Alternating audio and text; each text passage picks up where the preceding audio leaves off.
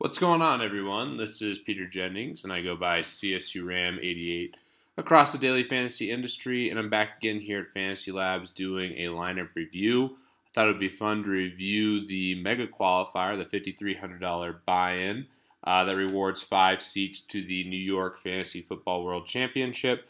Uh, still chasing some seats, as are a lot of other guys. Uh, you can enter this twice. I decided to enter it once because my best friend actually got married this weekend. Uh, it was one of the more challenging lineup uh, sessions I've ever had. Wanted to be responsible, did work all week, but had to really make my final decisions at 4 a.m. West Coast time after uh, some fun festivities. But feel relatively good about my process, and it was a pretty straightforward week. Um, the interesting thing specifically about this tournament is I was uh, looking like I was potentially going to get a seat. Things were kind of going my way initially because I needed Antonio Brown to have a big game and was kind of fading everyone else in the Kansas City Pittsburgh game. And the last Le'Veon Bell run catapulted uh, a ton of people. Uh, as you'll see here uh, in a second, the standings were very close.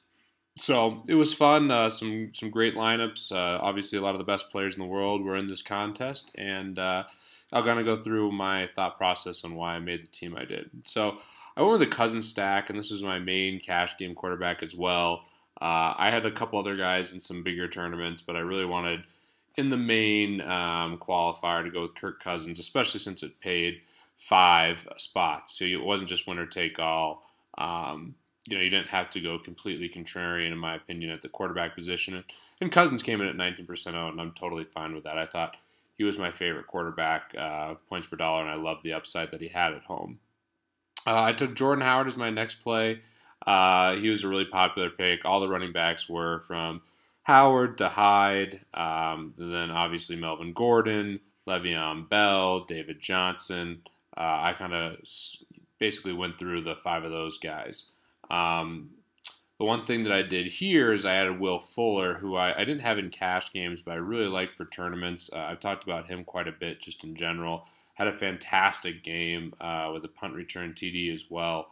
Showing a ton of upside there in Houston, and uh, I think he's going to continue to be a big play option and uh, a viable viable tournament play uh, pretty much every single week. So I like him. I've been touting him for a while. I'm kind of a sucker for the young rookies uh, or the younger players in general or the good athletes, but feel really good about him. And I did hear a stat um, before the Sunday night game. They have uh, basically uh, microchips in their shoulder pads now, and Will Fuller was the fastest player in Week Four um, at 21 miles an hour. So he has breakaway speed at any point in time, and that's obviously great in tournaments.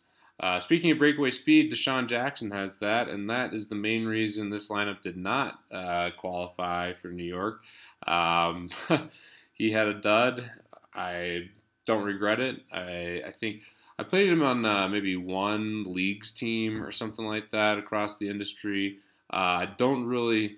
DeSean Jackson, any Redskins pass catcher is tough to play in cash, but uh, I definitely think in this spot is a great play, especially with Cousins going to Sean Jackson and Jordan Reed, who I'll talk about in a second.